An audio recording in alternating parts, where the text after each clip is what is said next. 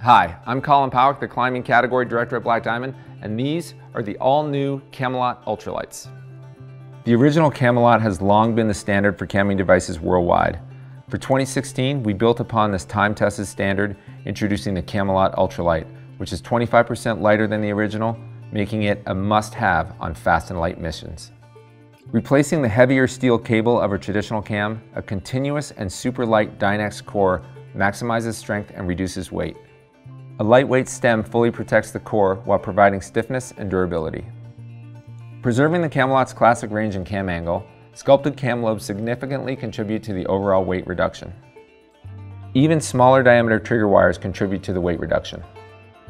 Finally, a low-profile 14mm Dyneema sling reduces bulk and keeps your rack weight down.